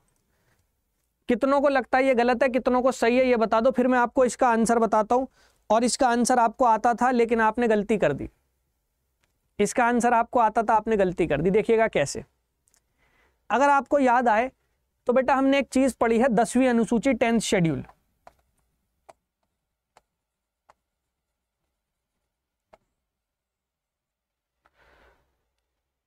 हमने दसवीं अनुसूची पढ़ी है, हमने टेंथ शेड्यूल पढ़ा है। याद आया दसवीं अनुसूची टेंथ शेड्यूल? हमने बेटा दसवीं अनुसूची पढ़ी है, हमने टेंथ शेड्यूल पढ़ा है। और जब हमने दसवीं अनुसूची पढ़ी थी, टेंथ शेड्यूल पढ़ा था तो आपको एक चीज़ याद आनी चाहिए। एक बात याद आनी चाहिए, हमने पढ़ा था कि अगर अगर कोई अपनी पॉलिटिकल पार्टी के द्वारा दिए गए दिशा निर्देश का उल्लंघन करता है, उसके ऊपर भी, उसके ऊपर भी लागू हो जाएगा दसवीं अनुसूची, दल बदल विरोधी अधिनियम। किसी बिल के फेवर में वोट डालना है या नहीं डालना? इस पर दिशा निर्देश कौन जारी करता है?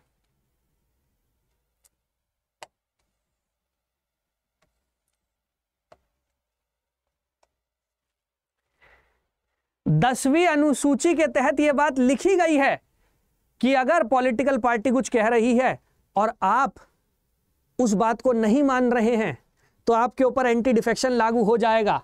कौन जारी करता है वो? वो दिशा निर्देश क्या कहलाता है? विप ही तो कहलाता है। तो टेंथ शेड्यूल ने, दसवीं अनुसूची ने यह संवैधानिक अधिकार दे दिया राजनीतिक दलों को। पहले नहीं था। दसवीं अनुसूची से संवैधानिक अधिकार मिल गया कि वो दिशा निर्देश लागू करवा सकते हैं।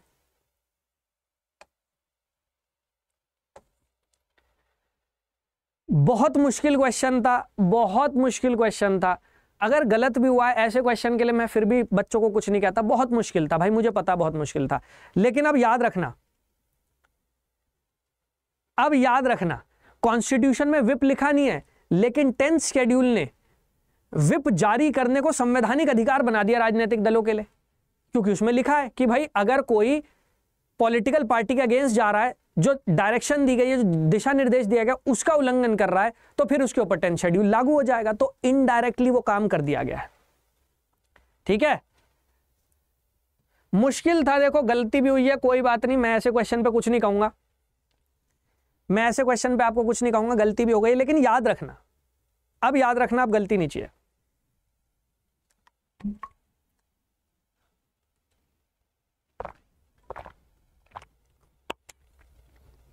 अब बताओ, कहीं किए हैं तुमने ऐसे दिमाग घुमाने वाले सवाल? कभी कहीं किए हैं ऐसे जो तुम्हारा दिमाग भी घूम जाए कि क्या ही क्वेश्चन है, क्या ही आंसर है?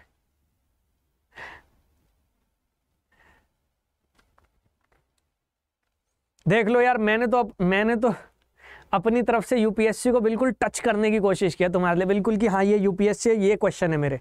वो लेवल मेंटेन किया। अब ये तुम्हारे ऊपर है कि तुम्हें एग्ज़ाम क्लियर करना है। लीजिए भाई। केंद्रीय सतर्कता आयोग के संदर्भ में निम्नलिखित कथनों पर विचार कीजिए with reference to central vigilance commission consider the following statement it was established under the prevention of corruption act 1988 the committee on prevention of corruption ठीक है। ये तो इजी क्वेश्चन है। बेटा, ये तो आसान सवाल है। ये तो इजी क्वेश्चन है, इसका तो सही जवाब दे दोगे।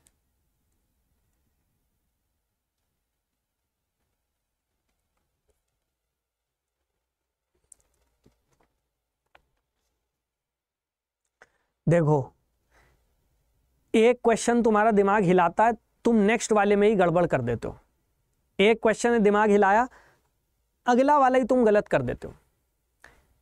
जरा मुझे ये बताओ सीवीसी मैंने अभी कुछ दिन पहले सीवीसी के बारे में बताया तुम्हें, एक क्वेश्चन कराया था सीवीसी के बारे में। सेंट्रल विजिलेंस कमीशन कब बनाया गया था? मुझे बताओगे कौन से साल में बनाया गया था सीवीसी और मैंने तुम्हें बताया भी था कि सीवीसी पहले सरकार के आदेश पर बना था। एक एग्जीक्यूटिव बॉडी था एग्जीक्यूटिव बॉडी सरकारी आदेश पर बना था। बाद में इसे कानून के अंतर्गत मान्यता मिल गई तो ये स्टैचुटरी बॉडी बन गया, सांविधिक निकाय। कब बनाया गया था सीवीसी को? सीवीसी को बनाया गया था 1964 में 1964 में। लेकिन 2003 में आके 2003 में इसे स्टैचुटरी बॉडी बना दिया गया। जरा देखना वहाँ क्या लिखा है। It was established under the prevention of corruption act आपको पता नहीं क्या सीवीसी कब बना था। पता है ना? सबको पता है सीवीसी कब बना था। फिर भी गलती कर दी। देखो, आप लोगों को पता है कब बना था, फिर भी आपने गलती कर दी। देख रहे हो ना? एक मुश्किल क्वेश्चन क्या आता है? बच्चा लड़खड़ा सा जाता है। ये तो बच्चों वाला क्वेश्चन होना चाहिए था, सबको पता ही है कि 1964 में सीवीसी को बनाया गया। संथानम समिति की रिकमेंडेशन पर बनाया गया। कैसे गलती हुई? क्यों हुई? देख रहे हो, ये होता है माइंड एकदम से हिल जाता है। जब कोई मुश्किल क्वेश्चन आता है ना आपके सामने, एकदम से हिल जाता है कि यार ये क्या हो गया? नेक्स्ट क्वेश्चन फिर चाहे आसान भी हो। अब आपकी जो लेथी रिदम थी वो टूट गई। ये इसको कंट्रोल करना है बेटा, इसको कंट्रोल करना है। यूपीएससी एग्ज़ाम हॉल में बहुत बार करवाएगी ये। मैंने तो एक बार करवाया यूपीएससी तो दसियों क्वेश्चन में करवाएगी। इसको स्टेबल रखना है, स्थिर रखना है। इतना इजी क्वेश्चन देखो, गलत हो गया। समझ रहे हो स्ट्रैटेजी चलो, आज यहीं पे रुकता हूँ।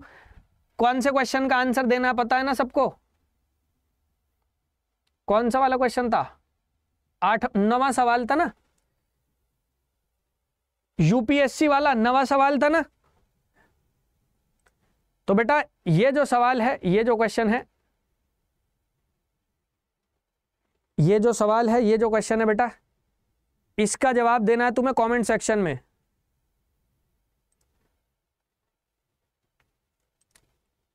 इसका जवाब देना है तुम्हें कमेंट सेक्शन में। सारे के सारे जवाब दे देना। चलो भाई जो जुड़ना चाहता है मेरे साथ, बेटा, यहाँ जुड़ सकते हो। Mains answer writing by Ankit sir और हाँ चार बजे चार बजे ज्योग्राफी और इकोनॉमिक्स की क्लास है। उसमें भी करंट अफेयर्स बेस्ड क्वेश्चन ही कराऊँगा आज। तो चार बजे ज्योग्राफी और इकोनॉमी की जो क्लास है, उसमें करंट अफेयर्स के क्वेश्चन ही होंगे आज तो उस क्लास को भी ध्यान से अटेंड कर लेना। जो जुड़ना चाहता है मेरे साथ, ये रहा mains answer writing by Ankit sir यहाँ पर आप जुड़ सकते हैं। बैचेस में एडमिशन लेना है। तो भाई यूपीएससी और स्टेट पीसीएस सभी के महापैक पर डिस्काउंट है और डबल वैलिडिटी डबल वैलिडिटी मतलब दो साल, ठीक है? दो साल के लिए आपको मिल रहे हैं। टेस्ट सीरीज़ लेनी है तो टेस्ट सीरीज़ घर तक डिलीवर की जा रही है, ठीक है? एडमिशन लेने के लिए करना क्या बता देता हूँ। आपको अड्डा ट्वेंटी फोर सेवन के स्टोर पर जाना है गूगल पर जाना है गूगल पर जाकर टाइप कर देना अड्डा ट्वेंटी फोर सेवन अड्डा का स्टोर सामने आ जाएगा। सबसे ऊपर ऑल कोर्सेज का ऑप्शन है। ऑल कोर्सेज में यूपीएससी का ऑप्शन है। यूपीएससी में रहा, यूपीएससी, सीएससी आईएएस यहाँ चले जाना। सबसे पहले लेजेंडरी महापैक है, ठीक है, सबसे पहले लगा हुआ है। इसके बाद सारे बैचेस हैं, अगर आपको लेजेंडरी महापैक लेना है, ठीक है? तो यहाँ जाइए, यहाँ जाएँगे बाय नाव पर जाइएगा बाय नाव पर जाएँगे पेज ओपन अप हो जाएगा, यहाँ वो कूपन कोड मांगेगा कूपन कोड में वाई तीन सौ पैंसठ Y three sixty five Y three sixty five लगा लोगे कॉस्ट कम हो जाएगी और वाई थ्री सिक्सटी फाइव लगा लोगे, मेरी मेंटोरशिप में आ जाओगे, मेरे साथ जुड़कर तैयारी कर पाओगे, मैं अपने व्हाट्सएप ग्रुप पर आपको जोड़ लूँगा, फिर आप वहाँ मेरे साथ जुड़े रहेंगे। ठीक है? और किसी बैच में एडमिशन लेना हो यूपीएससी पर जाओ, ये रहा प्रिलिम्स जैते प्लस टेस्ट सीरीज़ इसमें भी वही काम करना है। यहाँ नए सिरे से प्रिलिम्स जैते बैच शुरू हो रहा है आठ तारीख से। अगर आप इसमें एडमिशन लेना चाहते हैं प्रिलिम्स जैते और टेस्ट सीरीज़ भी चाहते हैं, बाय नाव पर जाओ कूपन कोड मांगेगा Y three sixty five Y तीन सौ पैंसठ लगा दो। वाई थ्री सिक्सटी फाइव लगा दोगे, कीमत कम हो जाएगी, अड्डा की एप्लीकेशन से लो, अड्डा की एप्लीकेशन पे फ्री कॉइन्स है, वो भी लगा लो। अगर सिर्फ़ टेस्ट सीरीज़ चाहिए, सिर्फ़ टेस्ट सीरीज़ तो यूपीएससी के सेक्शन पर जाना और यहाँ नीचे आ जाना। ये आ गई। बुक्स का सेक्शन है ना बुक्स बुक्स वाले सेक्शन में ऑफलाइन टेस्ट सीरीज़ है। यहाँ जाना। अगर सिर्फ़ टेस्ट सीरीज़ घर पे मंगाना चाहते हो तो उसके लिए Y three sixty five S लगा लेना।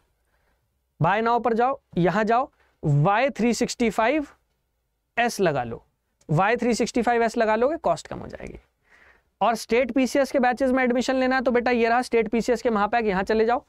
सभी स्टेट पीसीएस के महापैक आपको यहाँ पर मिल जाएँगे, आप इनमें भी इनरोल कर सकते हैं। डबल वैलिडिटी के साथ मिल रहे हैं डबल वैलिडिटी के साथ मिल रहे हैं और दो साल के लिए मिल जाएँगे। तो जिसमें भी एडमिशन लेना आप ले सकते हैं। चार बजे मिलते हैं जोग्राफी और इकोनॉमी के साथ। जय हिंद। सेशन को शेयर ज़रूर कर देना सभी के साथ और चार बजे वाले को भी कर देना। करंट अफेयर्स पे बेस्ड क्वेश्चन होंगे आज। Thank you